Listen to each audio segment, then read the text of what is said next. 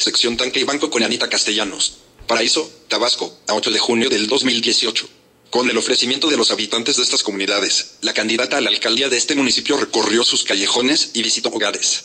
La falta de empleo y disminución de la actividad pesquera fueron las demandas más sentidas de sus habitantes. La respuesta fue buscar los mecanismos de apoyo para hacer de Paraíso un mejor destino turístico, apoyando la pesca que es su gran aliada, destacó en su diálogo con familias.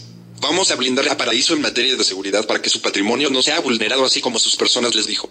Señaló además que la familia será el centro de atención en la política social.